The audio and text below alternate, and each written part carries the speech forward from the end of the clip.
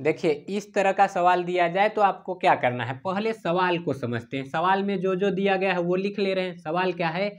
Are one तथा R two यानी R तथा टू आर तो आर वन कितना दिया है? आर और टू आर ये किसका मान है? आर टू का मान। ओम को जोड़ा जाए, देखिए, इसको जोड़ा जाए श्रेणी क्रम में तो कुल प्रतिरोध मिलता है आर वन समा, ये श्रेणी क्रम में है और समांतर क्रम में मिलता है आर टू तो आर वन आर टू का मान पूछा है। बहुत सिंपल है। श्रेणी क्रम में आपको पता है, कुल प्रतिरोध बराबर होता है जितना है, सबको जोड़ दो, यानी आर बराबर R one plus R two तो ये कहा है कि जो कुल प्रतिरोध है, ये आर वन है। आर वन का मान कितना है? आर प्लस आर टू का मान टू आर इसको जोड़ दिए तो ये कितना आ गया? थ्री आर दो और एक तीन हो जाएगा।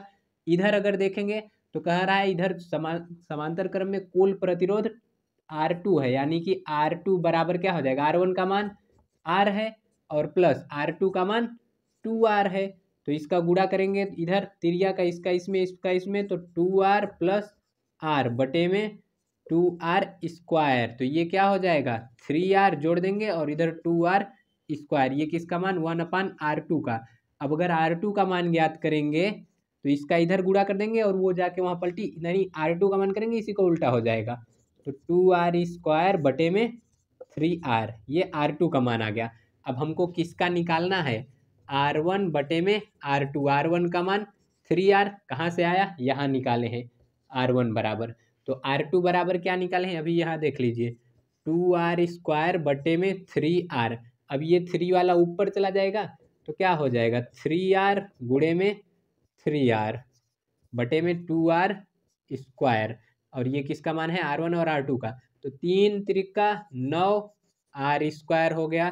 और इधर टू आर स्क्वायर पहले से आर स्क्वायर से आर स्क्वायर कट गया, यानी कि R one plus R two बराबर कितना आ गया? Nine upon two.